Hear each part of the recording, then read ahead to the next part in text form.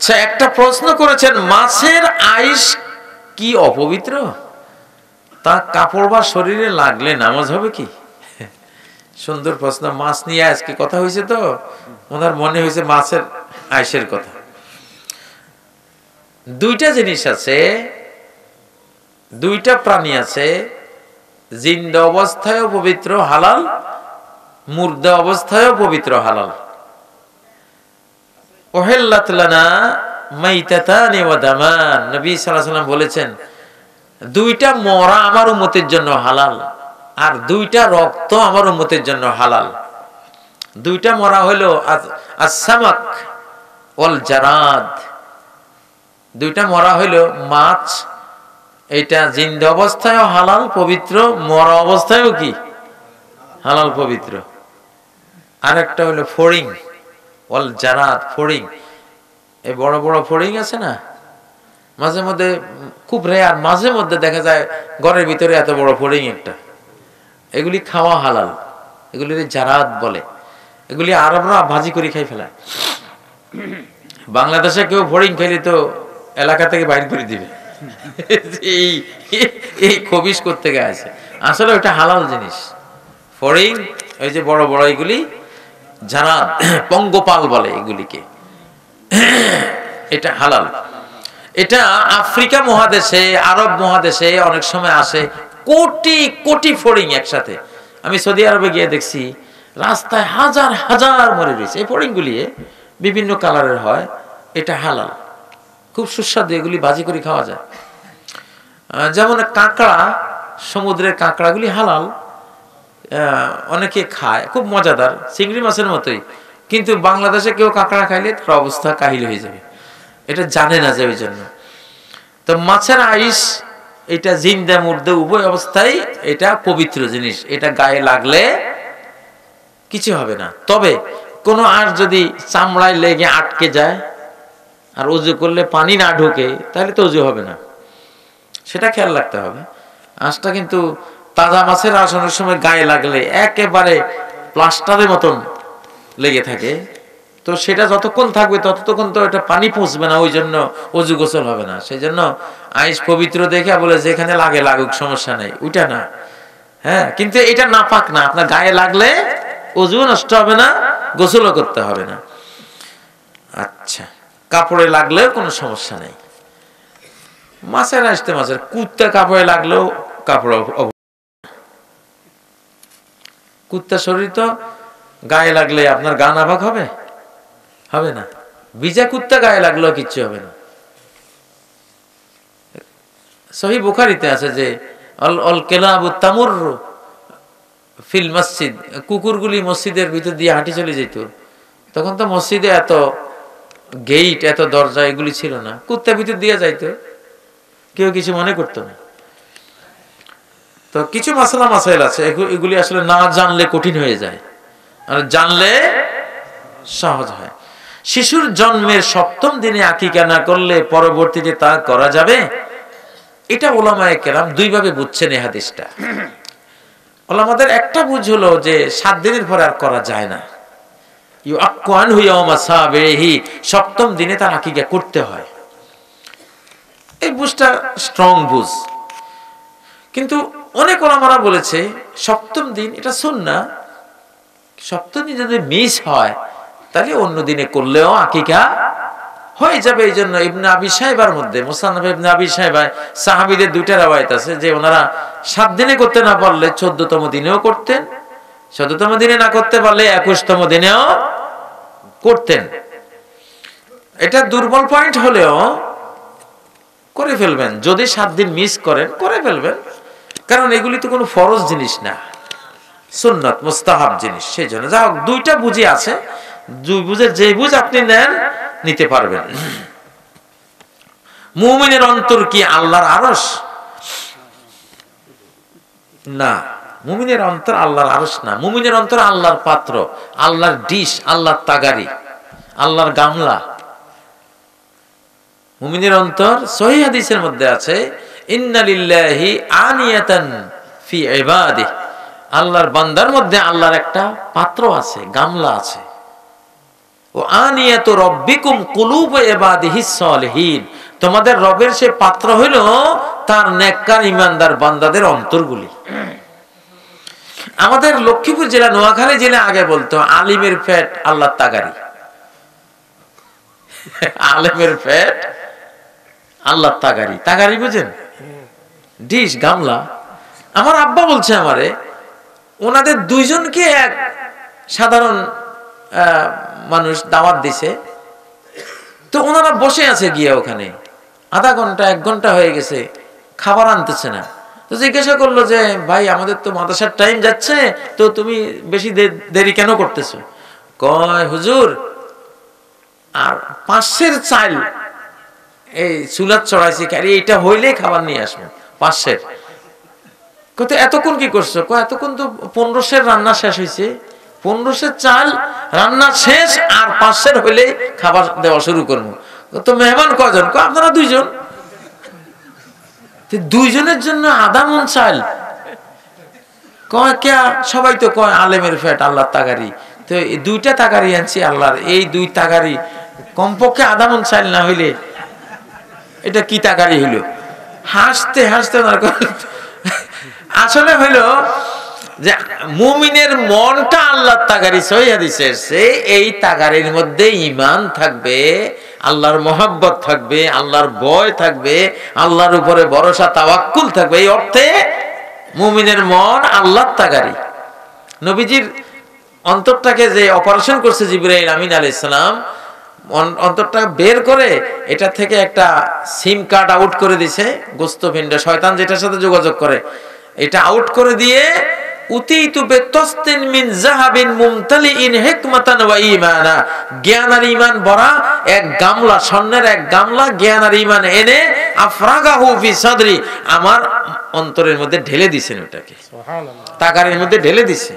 আমাদের প্রত্যেকের মনটা হলো কাত তাগারি? আল্লাহ। তাগারি। এটা আরস না।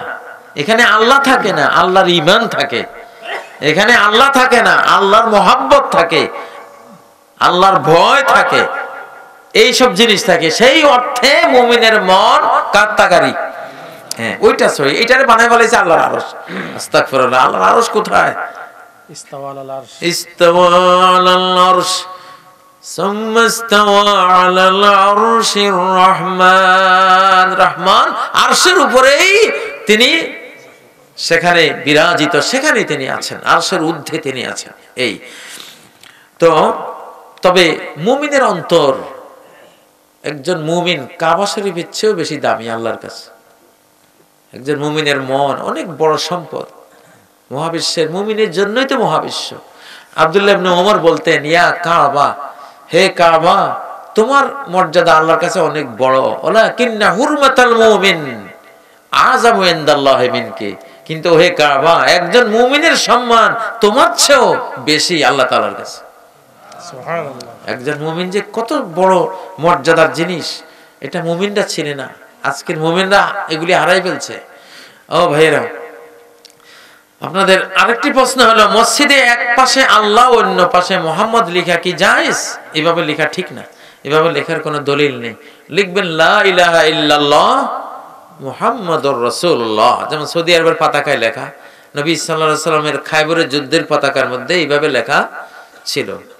ফাথুল বাড়ির মধ্যে সহি রাওয়ায়াত এসেছে, যে, লা ইলাহা ইল্লাল্লাহু মুহাম্মাদুর রাসূলুল্লাহ। এইভাবে কালেমাটা নবী সাল্লামের খাবার যুদ্ধের পতাকায় ছিল, বর্তমান সৌদি আরবের রাষ্ট্রীয় পতাকার মধ্যে এইভাবে লেখা আছে।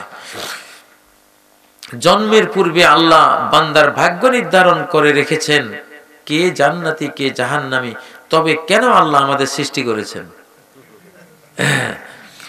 আদার ব্যাপারে জাহাজের খবর নিয়ে লাভ আছে। হ্যাঁ? দপ্তরের কাম কি? বেল ফিটানো, ঠিক না? তুই বাটা বেলে না ফিটাবি। তুই বেল ফিটাবি, তুই বেতন নিবি। প্রিন্সিপালে কি করে? তোরে কইছে কে এগুলি? চিন্তা করতে। হ্যাঁ বেল ফিটানি বাদ দিয়ে প্রিন্সিপাল সব কেন স্যারে বসছে? উনি কি করে? এগুলি কি লেখে? হ্যাঁ ওইটা নিয়ে গবেষণা করছে। তোরে কইছে ওইটা? তোর তোরে কইছে বেল ফিটা?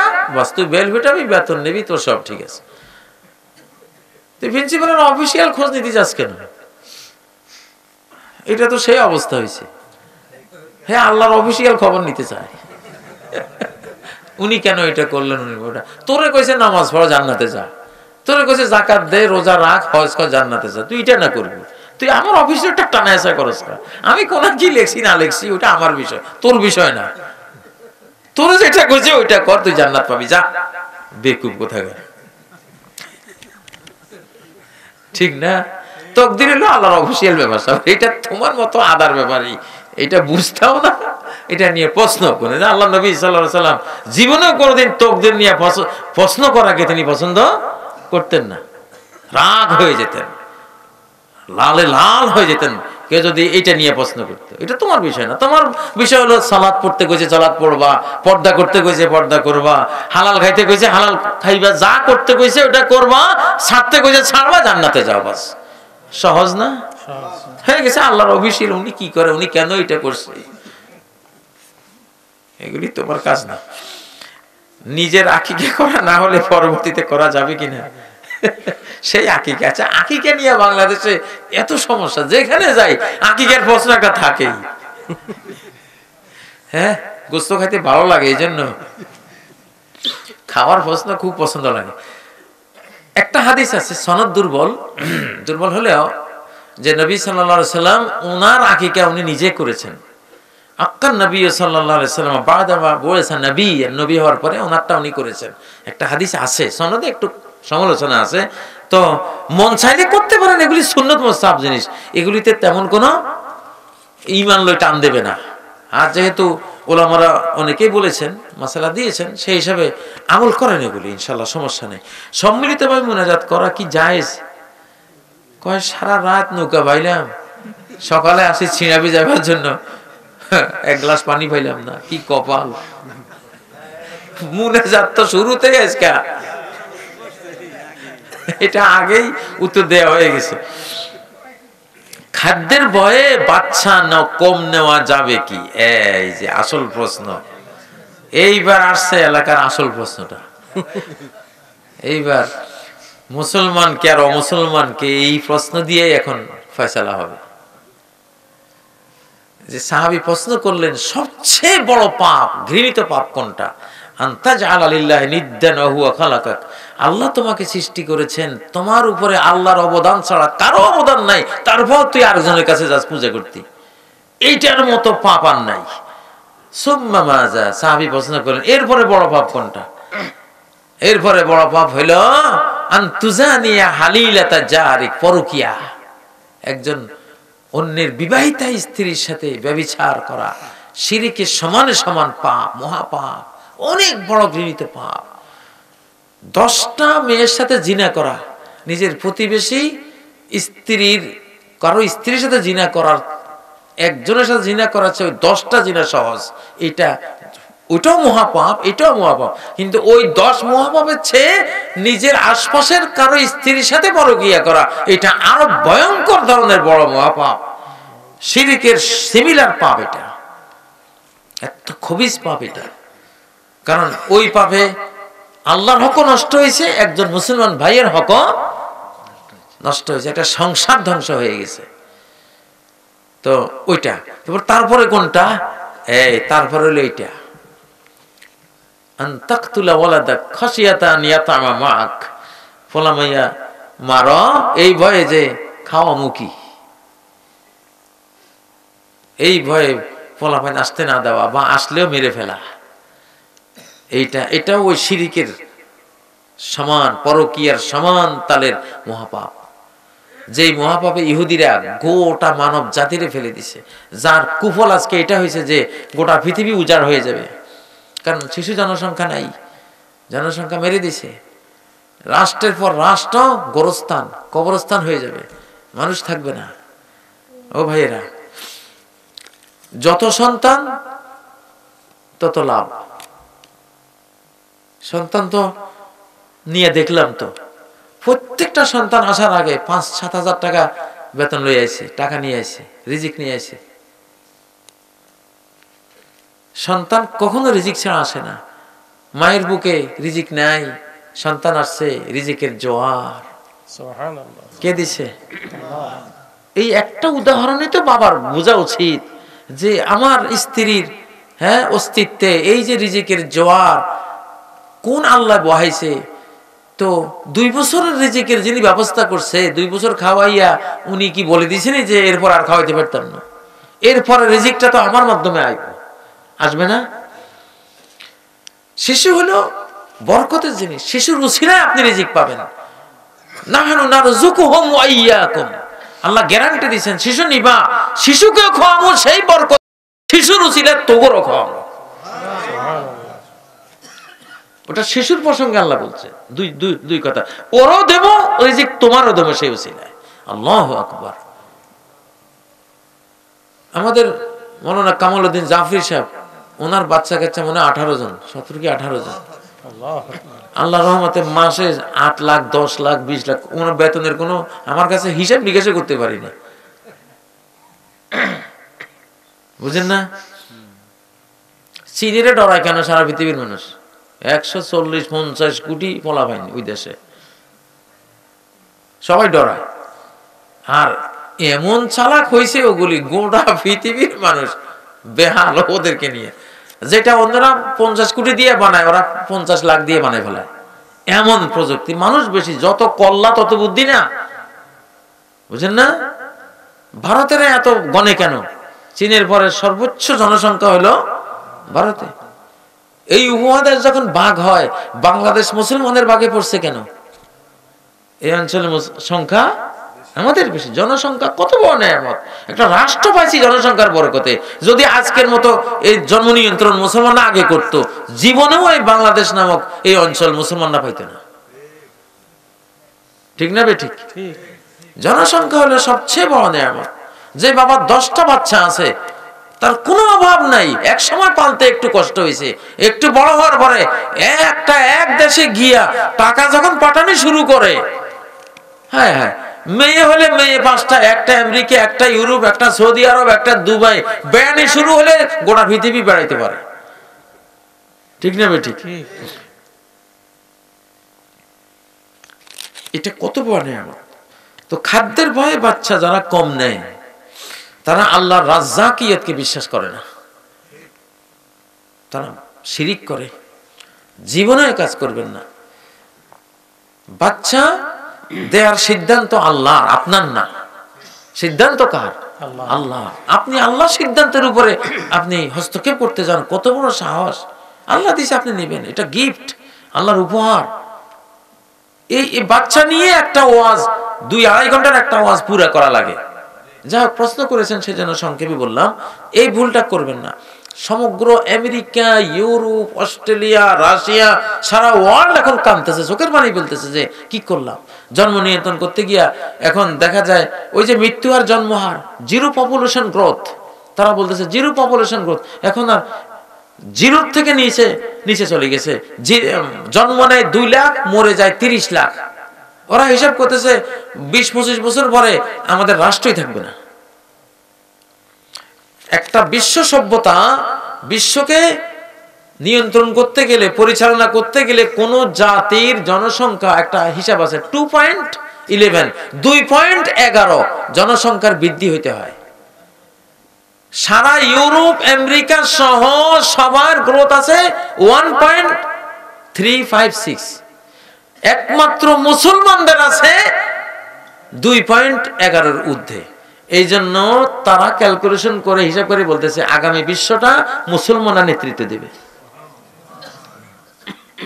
কারণ এই জনসংখ্যা, বিশ্ব নেতৃত্বের এই জনসংখ্যা ইহুদিদেরও নাই, খ্রিস্টানদেরও নাই, বৌদ্ধদেরও নাই, কারোই নেই। এই গ্রোথটা আছে শুধু মুসলিম সমাজের মধ্যে। আলহামদুলিল্লাহ, আপনারা এই কাজে কেউ বাচ্চা নেবেন, যে যতবার নিয়ত করেন যে আল্লাহ সাত, আটটা, দশটা বাচ্চার বাবা হন। আল্লাহ কবুল করেন। হ্যাঁ? আপনাদের বক্তা যদি দশ এগারোটার বাবা হইতে পারে, শ্রোতারা কি? আরও বেশিও দরকার না। বক্তা তো বুড়ো হয়ে গেছে, আপনারা তো জোয়ান। ঠিক না বে ঠিক?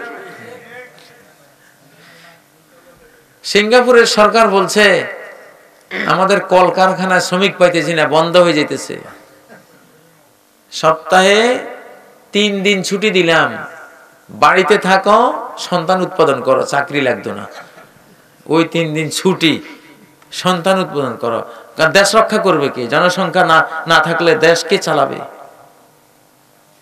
যাই হোক, এই সংক্রান্ত রাজ্যের তথ্য আমার কাছে আছে। একদিন ওইটার উপরে একটা ওয়াজ করবনি ঘোড়ার গোস্ত খাওয়া কি যায় এ বাঙালির কোন, বাংলাদেশে কয়টা ঘোড়া আছে যে এত বড় প্রশ্ন করি বসলেন? এটা হলো পণ্ডিতির প্রশ্ন। দেখি হুজুরে কি কয়। লাহমুল ফারাস ঘোড়ার গোস্ত নিয়ে ওলামারা বহস করেছেন। আল্লাহ নবী সাল্লাহ সাল্লাম কোনো যুদ্ধে কোথাও কখনো ঘোড়া খাইছেন বলে কোনো প্রমাণ নেই। তবে ওলামাই কেরাম ইসলামের গবেষকরা এটাকে মাকরু বলেছেন যে এটা খাওয়া ঠিক না। কারণ আল্লাহ বলেছেন, অল খাইলা বল বেগলা ওল হামির আলে তার কাবুহা গোড়া গাদা খচ্চর বানাইছি খাওয়ার জন্য না কিসের জন্য? এটাতে আরোহণ করব, এটা বাহন, এটা গাড়ি ঘোড়া, ওই যুগের গাড়ি ঘোড়া ছিল এটা। তো এই জন্য এটা এটা খাওয়াকে ওলামারা হারাম বলেন নাই, মাকরু বলেছেন। মৃত্যুর পরে চল্লিশা খাওয়ানো বিদাত, কিন্তু এটা কি মৃত্যুর পূর্বে খাওয়ানো কি যায় রে কপাল। মৃত্যুর আগে মাজার বানাই দিয়েছে দেখছি। এক ভণ্ড আছে বাংলাদেশে, এর মাজার, বিশাল মাজার, স্টিমারের মতো, উপরে। বানাই দিয়েছে এখনও মরে নাই মাজার আগে রেডি এখন ওই জাতীয় প্রশ্ন হয়েছে আর কি। তা যেটা মৃত্যুর পরে করলে বেদাত, এখনও মরে নেই নেই সেটার আগে যদি করেন, তাহলে তো আরও দ্বিগুণ বেদাত এটা। ঠিক না? এগুলি ভুয়া জিনিস। আপনার যদি কাউকে খাওয়াইতে মন চায়, আপনি এমনি মেহমানদারি করেন, এমনি খাওয়ান। আইউল ইসলামে খাইর নবী সাল্লাহ সাল্লামকে প্রশ্ন করা হয়েছিল, কোন ইসলাম সবচেয়ে উত্তম? তিনি বললেন তো তো মত খাওয়াও, আল্লাহর মখলুককে খাওয়াও। খাওয়ার ওটা মস্ত বড় একটা মাকারেমে আখলাক, উন্নত চরিত্রের একটা অংশ। সেটা করে। সেভেন আপ খাওয়া কি জায়েজ? সেভেন আপে সমস্যা আছে। Seven up Coca Cola Fanta, এগুলির মধ্যে অ্যালকোহল আছে। খারাপ জিনিস আছে। এই জন্য এইসব রাসায়নিক জিনিস খাবেন না। এগুলি না খেয়ে একটু দুধ কিনে খান, একটু মধু পান করেন, না পারলে একটু টিউবওয়েলের ভালো পানি পান করেন, তবু ওই রাসায়নিক এগুলি খাবেন না। বর্তমান বিশ্বে কিডনির যে বিশাল বিশাল সমস্যা তৈরি হয়েছে, এইসব রাসায়নিক এগুলি খেয়ে খেয়ে কিডনি নষ্ট করে দিছে এগুলি খাবেন না। দুই হইতে দুই সালের মধ্যে ইমাম মাহাদির আগমন আদৌ সম্ভব কি? কালকে আসলে বা অসুবিধা কি? অনির্দিষ্ট জিনিস যে কোনো সময় তো আসতে পারে। অনির্দিষ্ট মৃত্যু যেমন যে কোনো সময় আসতে পারে। অনির্দিষ্ট মাহাদিও যে কোনো সময় আসতে পারে। তবে যদিও অনেকেই হয়তো আইডিয়া করতে পাচ্ছেন না, যারা এই বিষয়টা নিয়ে গবেষণা করে, আসলেই কিন্তু আগামী বছরগুলিতে কখন আসবেন আল্লাহ জানেন, সেটা আমরা বলতে পারব না। তবে সময় যে কাছিয়ে গেছে, এর মধ্যে কোনো সন্দেহ নেই। এটা একেবারে নিঃসন্দেহে বলা যায়। কারণ আলামতগুলি সব এসে গেছে। সব। ইমাম মাহাদি সৌদি আরবের অস্থিতিশীল একটা অবস্থায় আসবে। দেখেন সৌদি আরবের অবস্থা। এটা তো একদম যেখান থেকে উৎপত্তি হবে, সেখানে অলরেডি সে অস্থিতিশীল অবস্থা শুরু হয়ে গেছে। তো, অতএব বিশ্বের অবস্থা, ইমাম মাহাদির আগে জোর যার মূল্যক তার। জোর যার মূল্যক তার। এটাকে নবীজি বলে গেছেন মুলকান জাবারিয়া। ইমাম মাহাদি পর্যন্ত মুলকে জাবারি, বন্দুকের শক্তি বলে ক্ষমতার রদ বদল হবে। বাংলাদেশে থাকি বুঝেন নাকি বুঝেন না? বুঝেননি? ইমাম মাহাদি আসার আগে পৃথিবী জোরজার তার। এর মাঝখানে আর কিছু হবে না। এই জোরজার মূল্যক তার এদের থেকে কেড়ে নেবেন ইমাম মাহাদি। এদের থেকে কেড়ে নেবেন কে? ইমাম। আর কেউ পারবে না। পৃথিবীটা এই শ্রেণি থেকে ইমাম মাহাদি ইসা সালামরা এসে নিয়ে নেবেন। এবং আল্লাহ তালার কোরআন নবীজি সন্না দিয়া তারা পরিচালনা করবেন তো এই পরিবেশ পরিস্থিতি কি সারা পৃথিবীতে তৈরি হয়ে আছে না? সারা পৃথিবীতে তৈরি হয়ে আছে। অতএব এটা তো বুঝতে আর অসুবিধা হওয়ার কথা না। কোরবানি এক, দুই, তিন, চার, পাঁচ, ছয়, সাত ভাগে দেওয়া যাবে কি? অবশ্যই যাবে। কেন যাবে না? এটা নিয়ে অযথাই বাংলাদেশে আরেকটা তুলকালাম কাণ্ড শুরু হয়েছে। যেখানে স্পষ্ট সহি মুসলিমের হাদিস আল বাদানাতু আন সাবআতিন ওয়াল বাকারাতু একটা উট সাতজন থেকে সর্বোচ্চ, একটা গরু সর্বোচ্চ সাতজন থেকে কোরবানি চলবে। একলা দিলেও হবে, দুইজনে মিলে দিলে হবে, তিন, চার, পাঁচ, ছয়, সর্বোচ্চ কত? সাত, সাতজনে দিলে হবে। একটা গরুর সমান সাতটা দুম্বা, সাতটা ভেড়া, ছাগল, একটা গরু। তো সাতটা দুম্বা সাতজনে কোরবানি দিলে যেরকম হবে, একটা গরু তেমনি সাতজনে দিলেও কোরবানি হবে। হিসাবটা তো ওইটা। নবী সাল্লা সাল্লাম একটা উটকে সাতটা বা দশটা ছাগলের সমান তিনি ঘোষণা দিয়েছেন। সেই হিসাবে এই মশালাটা তবে কেউ কেউ ওইটা নিয়ে একতলাপ করেছেন। করতেই পারেন। দুই রকমের বুঝ। এখানে অপশন আছে। একদল বলছেন, না, এটা ঠিক না। ঠিক আছে, ওকে। উনি যেভাবে বলছেন উনি আমল করতেই পারেন। কিন্তু অধিকাংশ আমরা বুঝছেন যে সাতটাই হতে পারে। অতএব এইটাও ঠিক আছে, ওইটাও ঠিক আছে। এটা অপশনেবল মশলা, এখানে কোনো একতলাপ কোন রকমের এই একটা একটা মানে বিরোধ সৃষ্টি করার কোনো সুযোগ নেই। জমজমের কূপের পানি কোথা থেকে এসেছে? এই, এটার সাথে কোনো আমল জড়িত আছে? জমজমের কূপের পানি থেকে আসছে? থেকে আসছে বলেন? জমিন থেকে আল্লাহ তালা এটা সৃষ্টি করে দিয়েছেন। পাথর, বিভিন্ন আশপাশের যেই পদার্থগুলি আছে সেখান থেকে। যেখানে পাথর থাকে, সেখানে স্বচ্ছ পানি থাকে। এটা কোরআনে আছে।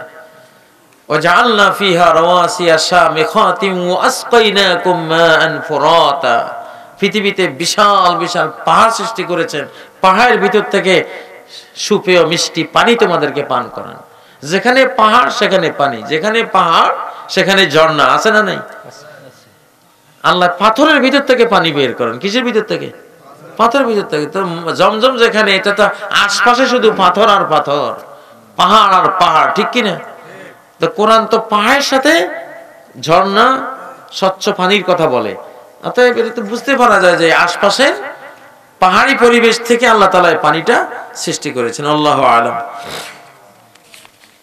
আর প্রশ্ন দেবেন না ভাইয়া, এই আর দুইটা প্রশ্নের উত্তর দেব।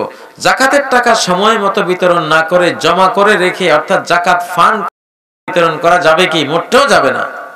মোটটাও একেবারেই এটা নিষেধ। ও আতু হাক্কাহু ইয়াওমা যেদিন ফসল কাটবা, ফসলের জাকাত সেদিনেই দিবে, একদিন পরেও না। হাসাদিহি কাটার দিনে। জাকাত যেদিন ফরজ জাকাত দিয়ে দিতে হবে।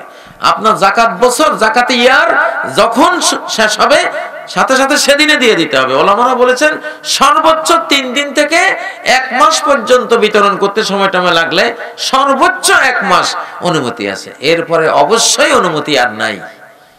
এর ভিতরে আপনাকে এটা দিয়ে শেষ করতে হবে। এটা গরিবের হক, গরিবের কাছে পৌঁছে দিতে হবে। প্রজেক্টর জায়জ আছে কিনা? মানে প্রজেক্টরের মাধ্যমে বক্তাকে দেখে প্রজেক্টর জায়জ না থাকলে তাহলে কোনটা জায়জ জি বাংলা। আর স্টার জলসা। নাকি? ওগুলি জায়জ ওগুলো নিয়ে তো, জি বাংলা নিয়ে তো কেউ প্রশ্ন করে না। মানে ওইটা তো হালাল একেবারে, ওইটা নিয়ে আর কি প্রশ্ন করব হুজুর? সমস্যা তো হলো প্রজেক্টরের মধ্যে। যেখানে কিছু আল্লাহ রসুলের কথা হয়। জি বাংলায় তো সব মারফতি কথা নাকি? হ্যাঁ? প্রজেক্টর নিয়ে কেন প্রশ্ন এই প্রশ্নটা শুনলে কয় হুজুর, মাদ্রাসা যে পড়ে ছাত্রীরা যায় যাচ্ছেনি হ্যাঁ কত বড় ফাঁস তুই তুই স্কুল নিয়ে জীবনে প্রশ্ন করলি না। স্কুল কলেজ ইউনিভার্সিটি গোটা নারী জাতিটাকে উলঙ্গ করে ফেলছে। সে ওই প্রশ্ন করে না। মাদ্রাসায় বোরকা গায়ে দিয়ে যায়। কোনখানে কি কদ্দুর সে দেখছে, ওইটা নিয়ে তার হ্যাঁ? সমস্যা। মসজিদে মহিলারা যায় কেন? সিনেমা হলে যায়, তার আপত্তি নেই। মসজিদে কেন যাবে? ওরা ভালো কেন হবে? ওরা খারাপ হোক, আমার আপত্তি নেই। ভালো হইতে যাবে কেন? এই হলো এই সমাজের অবস্থা। ঠিক না বে ঠিক? প্রজেক্টর অবশ্যই জায়েজ। আজকে বাইতুল্লাহ শরীফে যে সালাত হয়, সারা ওয়ার্ল্ড এটা দেখে। টিভি থেকে প্রচার হয় না না? হয় মদিনা শরীফের মসজিদে নবীর ভিতরে ক্যামেরা সেট করা। কেমনে কি করেন, না করেন সালাদ কি পড়েন, সমস্ত ওয়ার্ল্ডে দেখে। আর মক্কার মদিনা যে বিষয় একমত, ওইটা হক। ওইটা কি? আজমা আলাইহিল হারামান। সহি বুখারিতে একটা অধ্যায় আছে, দুই হারাম একমত হয়ে যে কাজ করে, ওইটা হক। ওইটা কি? এটা সর্বযুগের মুসলমানদের এজমাই মাসালা। কামা ইলা দিন আর কোথাও না থাকলেও থাকবে।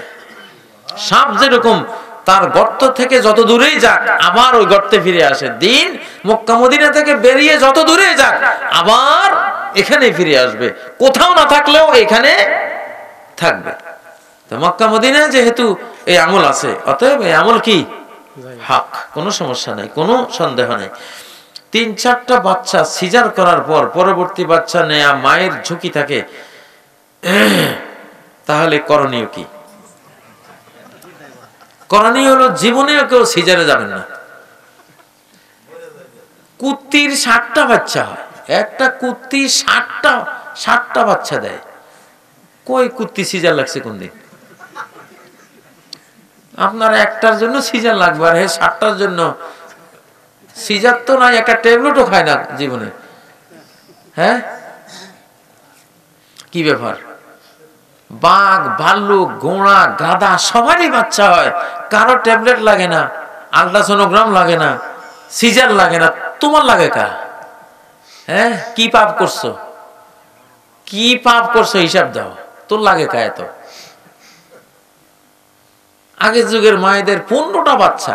একজন স্ত্রী করে পনেরোটা বাচ্চা, একটা ট্যাবলেটও খায়নি আর এখন বাচ্চা একটা দিব, বাপরে বাপ, গোটা পৃথিবী খবর হয়ে গেছে।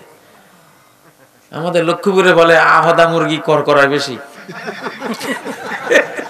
আহদা মুরগি কর করায় বেশি। ডিম একটা পারছে, ডিম একটা ডিম একটা পাড়িয়া কক কক করে এক ছিটকার দিয়া, ডানা চাপটাইয়া একবার উড়া দেয় ওই তাকের উপরে। হাঁড়ি ফাতিল কতগুলো ফেলাইছে, আরেক উড়া দিছে, আরেক তাকের উপরে বেচারির বাসন কোসন যা ফেলাইছে ওইটা ভাঙছে, এরপরে এক উড়া দিয়ে ফুকুরে হয়ে পড়ে। কি হয়েছে? বিশ্ব সংবাদ, ডিম একটা ফাটছি বুঝেন না? কনসিভ করছে। আজকে ডাক্তারের খবর, কালকে হাসপাতালের খবর, পরশু তসু বা আরও কি? মানে ডাক্তারের চেইন অফ কমান্ড মানে সিলসিলা লাগাই দিছে বাড়িঘর দুয়ারের লগে। হ্যাঁ?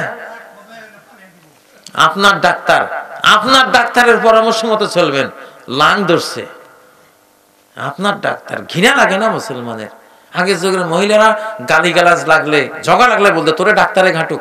সি ডাক্তার, উমুক মহিলার বাড়িতে ডাক্তার আইছে, এইটা শুনলে ওই মহিলার সরম ছিল, লজ্জা।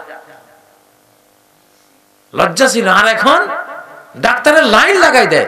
আর ওই ডাক্তাররা বিভিন্ন ধরনের ওষুধ দিয়ে এমন জটিল করে সে সিজা ছাড়ার উপায় নেই। কারণ সে সিজার শিখছে। সে তো এই সিজার তার এই পেশা জিন্দা রাখার জন্য ডজনে ডজনে নারী সিজার না করলে তার এই শিক্ষার কি দাম রইল? এই জন্য সে চাইবেই যেইভাবে করলে সিজারে নেওয়া যায়, ওইটাই তো আমার ব্যবসা। কথা বুঝেন না? কোন সিজার আমেরিকা এখন সিজার রহিত করে দিছে। ইউরোপে সিজার নাই, সিজার বন্ধ। কারণ সিজার করা বাচ্চা অসুস্থ থাকে। একটা মা সম্পূর্ণ পোশাক খুলে আট দশটা পুরুষ ডাক্তার যখন তারা দেখে, বদনজর দেয়, তার তো জীবন ওখানে এসে শিশুটা তো ওখানে শেষ হয়ে গেল। শিশুটার লাইফটা ওইখানে বরবাদ। তারপরে নর্মাল ভাবে জন্ম হলে যেভাবে আল্লাহ সৃষ্টি করেছেন জন্ম আল্লাহ যেভাবে সিস্টেম দিয়েছেন ওইভাবে জন্ম হলে মায়ের দেহ এক ধরনের ব্যাকটেরিয়া থাকে। আল্লাহ তালা শিশুকে আল্লাহ যেভাবে দুনিয়াতে আনান ওইভাবে আসলে তার সারা শরীরে ওই ব্যাকটেরিয়াগুলি আল্লাহ মেখে দেন। ওইটা গোটা জিন্দিগি সেফটি শিশুর জন্য।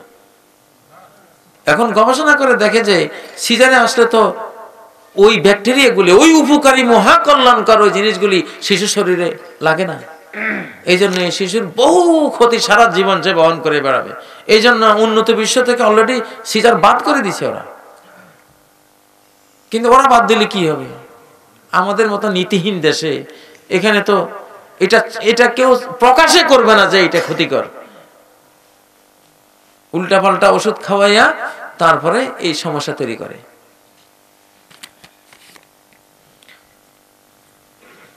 আমি তো এগারোটা শিশু তো আমার আমার ঘরে জন্ম হয়েছে। আমি তো একটা ট্যাবলেটও খাওয়াইনি।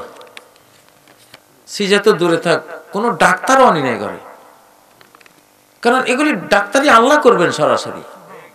কেউ যদি দিনের এই হিজাব, নারী জাতির এই ইজ্জত আবরুর প্রতি লক্ষ্য রেখে সে যদি আল্লাহর উপর তকুল করে, তা আল্লাহ এই যে একটা কুকুর, একটা নিকৃষ্ট পানি তাকে আল্লাহ এত বড় একটা মুসিবত থেকে কত সুন্দর আল্লাহ উদ্ধার করেন হ্যাঁ? তার একটা ধরনীয় নাই। ঠিক কিনা? একটা গাভীর বাচ্চা হয়, একটা ধরনীয় নাই তার। তোমার কেন? তুমি তো আসল মাখলুকাত। তোমার তো আল্লাহ আরও তোমাকে হেফাজত করবেন। মানুষ যখন আল্লাহ বিমুখ হয়, আল্লাহর উপরে কোনো আস্থা নাই, সেই আল্লাহর উপরে যে তাওয়াক্কুল ছিল আগের মায়েদের, সেই তাওয়াক্কুল এখন চলে গেছে ডাক্তারের উপরে। এই জন্য এই দুর্গতি হয়েছে। হ্যাঁ হাজারে লাখে দুই একটা ঘটনা হইতে পারে, জটিল হইতে পারে, সেটা মাসালা ভিন্ন তখন। কিন্তু একেবারে গণহারে আহদা মুরগি করকরায় বেশি কি হয়েছে, বাচ্চা হয়েছে, আরে খেলোয়াড় তারকা টাইপের হলে তো একেবারে শুরু দিন থেকে এটা নিয়ে একবারে বিশ্ব প্রচার মাধ্যমে চলে গেল। এগুলি ঠিক না, এগুলি এগুলি আমাদের আমাদের বাচ্চাদের জীবন মার্ডার করে দিছে। আর সিজারের বাচ্চারা ভালো থাকে না। অধিকাংশ সিজারের বাচ্চা অসুস্থ হয়। আর এই যে একটা মহাপাপ এই যে একটা মহাপাপ করাইলো জন্মের সময় এই মহাপাপের অ্যাকশন এই শিশুর সারা জীবন সে বহন করে বেড়াবে। আল্লাহ তালা হেফাজত করুন। সর্বশেষ একখান প্রশ্ন। হানাফি সমাজে প্রচলিত আছে যে ইমাম সুরে ফাতেহা পড়লে মুক্তাদিদের পড়া হয়ে যায়। কিন্তু আহলে হাদিস সকলকে এই সুরা ফাতেহা পড়তে হয়। সকলে ইমামের সাথে সুরা ফাতেহা পড়ে, অন্য সুরা কেন পড়ে না? অন্য সুরা কেন পড়ে না? জোহর আসরে অন্য সুরা পড়বেন। জাবের ইবনে আব্দুল্লাহর হাদিস, কুন্না নাকরাউ ফির রাকাতাইনিল উলায়াইন মিনা যোহরি ওয়াল আসর ওরা আল ইমাম বিসুরাতিল ফাতিহা ওয়া সূরাতিন মাআহা। নাসিরুদ্দিন আলবানী সেফাত সালাতে রাসূলুল্লাহ সাল্লাল্লাহু আলাইহি নবীজির সালাত এই বইতে আলবানী হাদিসটি নিয়ে আসছেন, যে জাবির আব্দুল্লাহ বলেন, আমরা সকল সাহাবী জোহর আসরের প্রথম দুই রাকাতে ইমামের পিছনে সূরা ফাতিহা পড়তাম, অন্য সূরাও পড়তাম। অফিল উখরাইনে বেসুরাতিল ফাতেহা। আর শেষ দুই রেখাতে শুধু সুরা ফাতেহা পড়তাম। তাহলে এটা হলো জোহর আসরের মশালা। আর মাগরিব, এশা, ফজর ওই তিন ওয়াক্তে শুধু সুরায় ফাতেহা পড়বেন, অন্য সুরা মিলাবেন না ইমামের পেছনে। মশালা তো এটাই। ফান্তাহান্নাস যে ফালা তাফআলু ইল্লা বিউম্মিল কোরআন, ইমামের পেছনে সূরা ফাতিহা পড়বা, অন্য সূরা পড়বা না। মাগরিব, এশা, ফজর, এই তিন ওয়াক্তের মধ্যে। যাক, আল্লাহ তাআলা আমাদের তৌফিক দান করুন, আলহামদুলিল্লাহ।